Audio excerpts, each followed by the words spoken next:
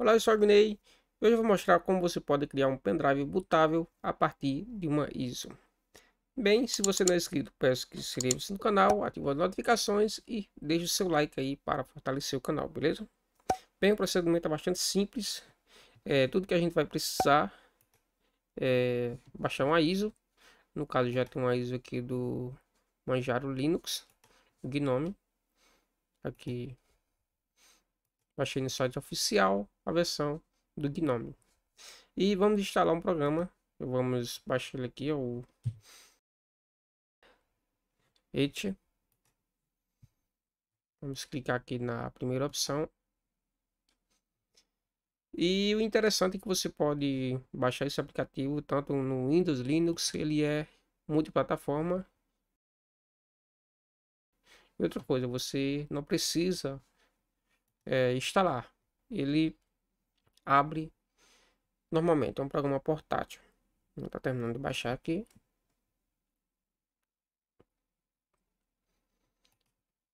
Agora eu posso fechar essa página.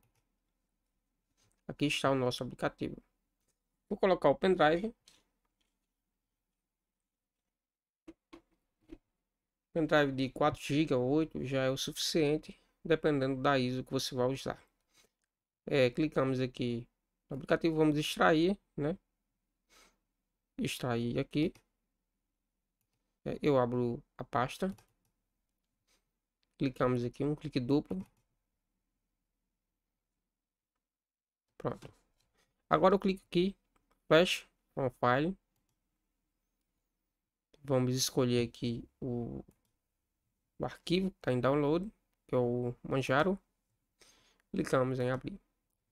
E aqui vamos selecionar o dispositivo USB, que é o meu pendrive. Clicamos aqui, seleciona essa opção, clicamos em Select e clicamos em Flash. Tem que colocar a senha, né?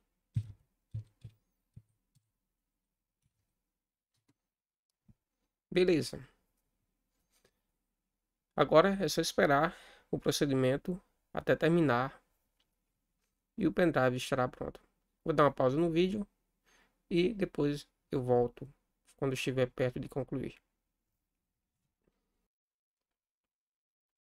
Bem, tá terminando aqui. Depois desse carregamento vai ter um outro carregamentozinho e termina. Só validando agora. Só que é bem mais rápido do que aquele primeiro procedimento, né? Vou pausar novamente. Aí, quando estiver próximo, eu volto. Bem, voltei aqui novamente. Está concluindo aqui a validação. E assim que terminar, o pendrive vai estar funcionando normalmente, pronto para dar o boot. Pronto. Agora você só precisa fechar e dar o boot no seu pendrive. É isso aí, espero que tenham gostado e até o próximo vídeo.